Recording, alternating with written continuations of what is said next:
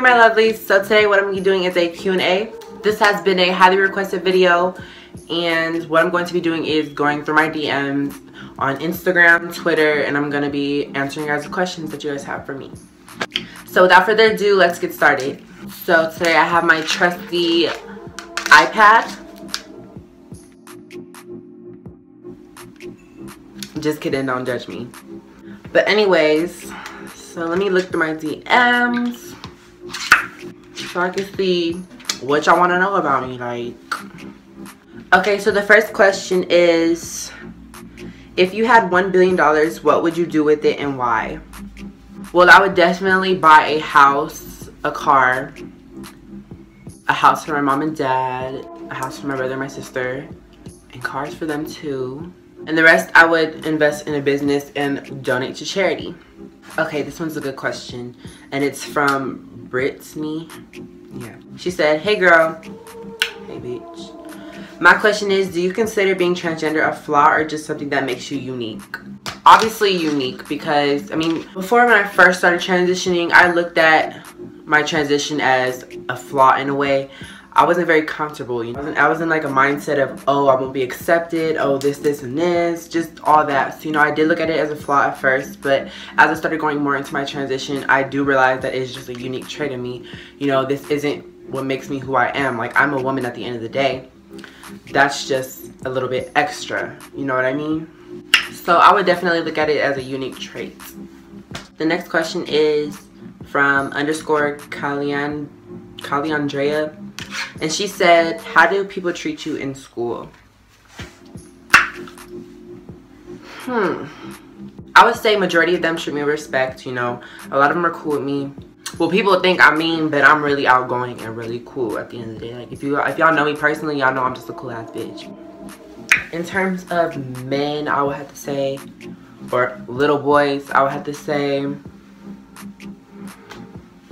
mm, this is a follow-up question. It says, do people think you're social media famous at school and what do you think what do you think they think of you as a transgender person? Well, a lot of the times they think I'm just um, like being social media famous. It's like I feel like I'm always on watch. I feel like people are just constantly looking at me and my every move. Overall, I do have like a lot of um, supporters in my school, you know, who want to take pictures of me and stuff. So that's really cool. I like that. And what do they think of you as a transgender person? Um, they think of it as such a taboo thing to where they're so interested in it that they just ask so many questions. And I'm just like, girl, it's not that difficult. Like I used to be, boy, okay. Let me fucking live, shit. The next question says, is it hard dating being transgender? Yes. I'm gonna be brutally honest with y'all. Yes, it is hard dating as a transgender woman because you have, like I said, niggas are in different categories. You have one category, and those are the um the ones that fetishize the fetish, fetish, fetish, fetishize us. That fetish us. I don't know. You have those ones that fetishize us to where they only want us for sex. You know, they just want us as a physical desire, you know, just, you know, they want to fuck you and then be done with you, you know. Then you have those men who want to fuck with you on that kind of level, but still want to be hidden, you know, still want to hide you, don't want to show you off, you know. You have those men, and this is really rare to where, like, they just don't give a fuck. They love you for you. They don't just want sex from you. That's rare so far. I dealt with so many niggas that had girlfriends the whole time and I had no idea about it.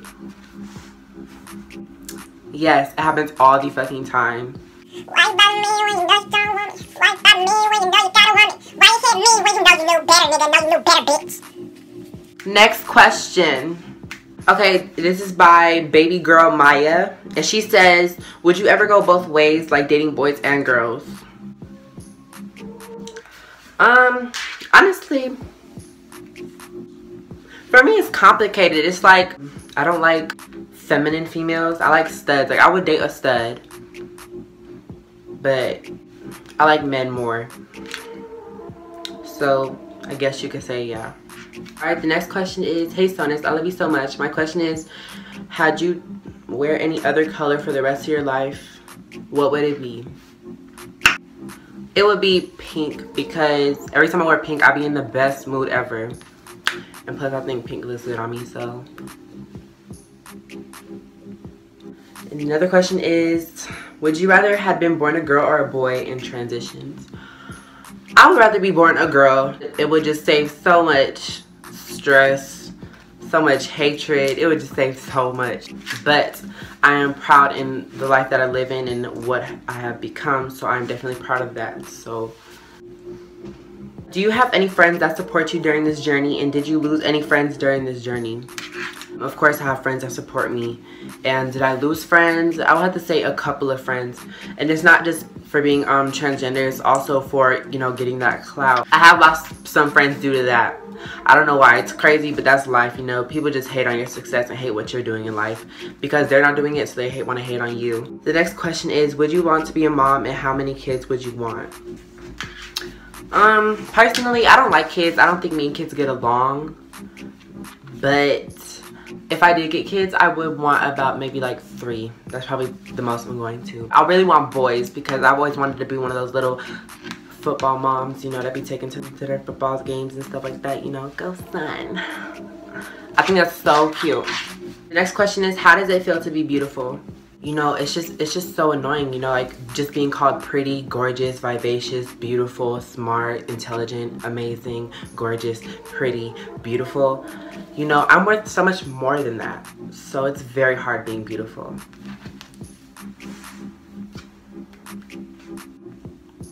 Do better. Peasant. The next question is what is your favorite tv show um, Love and Hip Hop, Real Housewives of Atlanta, anything with drama. Because I'm a messy bitch that lives for drama. The next question is, would you date a girl that transitioned into a man basically would you date a transgender male? And the answer to that is yes i would definitely date a transgender male. I think that's also a positive aspect because they know exactly what you're going through. They know what it's like. So i feel like you guys can bond over that on a spiritual level.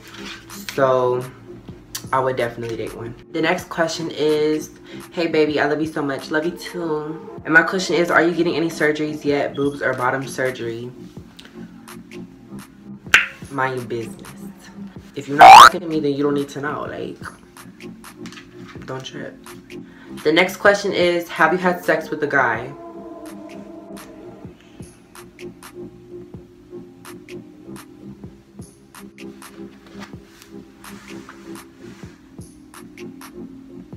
Alright guys, that is it for today's YouTube video. Don't forget to like, comment, and most importantly, subscribe. And comment down below what video you guys would like to see next. And I'll get back to you guys on that. Bye, lovelies.